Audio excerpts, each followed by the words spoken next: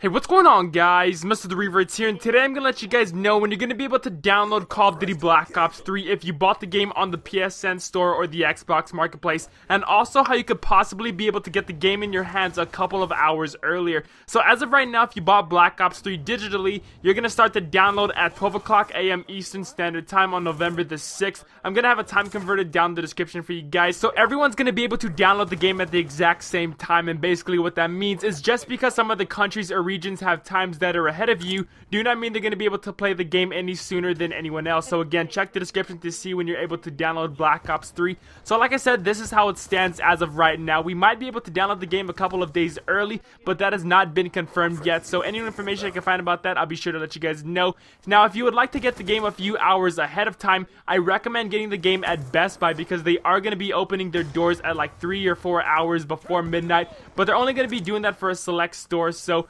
uh, to see if you're going to be doing that, there's a link in the description to go check. And all you have to do is enter your state and city, and then the store locations will pop up on screen. So guys, there you have it. That's how you're going to be able to get the game a few hours early, and the times when you're going to be able to download Black Ops 3. I think what I'm going to do is pick up the game at Best Buy, but come home and download the game. So uh, then I'm going to head over to the GameStop midnight release so I can attend that, and uh, hopefully the game will be done in a couple of hours. So uh, guys, that's my plan. We are about two weeks away until the release of Black Ops 3. I'm super excited, guys. Like, I really am. Like, I've never been this excited for Call of Duty ever since Black Ops 1, and it's great to feel that feeling again because for the past couple Call of Duties, I haven't really been that hyped for uh, for the game like I have for Black Ops 3. So I'm pretty excited. I can't wait to find what's in store for uh, the game in general and just to see what's in store for my channel because I'm gonna focus my channel very heavily on tips and tricks and making great videos for you guys. So um, yeah, I'm really excited for Black Ops 3. And let me know guys what y'all think about Black Ops 3. Tell me how excited you are down in the comments. And also please drop a like if you guys did enjoy and subscribe to the greatest Call of Duty Black Ops 3 news, rumors, and information. Thank you for watching. My name is Averts.